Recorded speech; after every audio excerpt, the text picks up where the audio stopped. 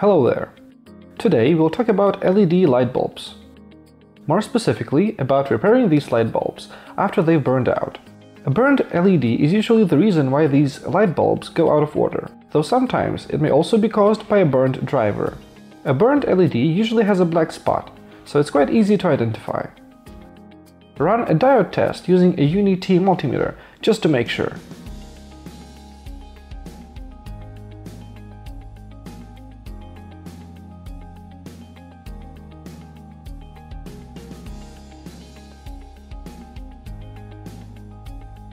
Let's start our repair by removing the non-working diode.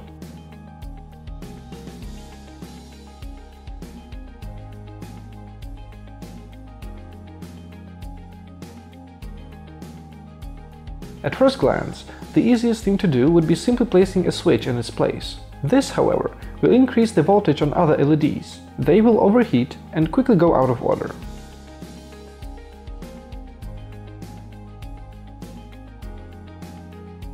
This kind of light bulb will work, but not for too long. A better solution is putting a resistor in its place, but the best one, without a doubt, is replacing this LED with an LED of the same type. Make sure to follow the polarity rules while replacing the LED.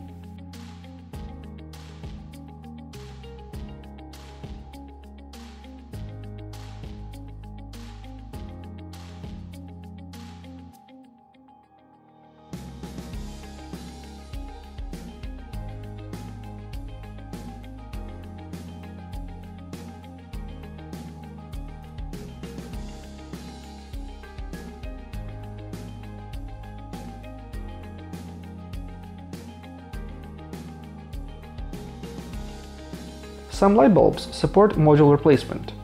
This means replacing the board with a new one that already has all the LEDs installed.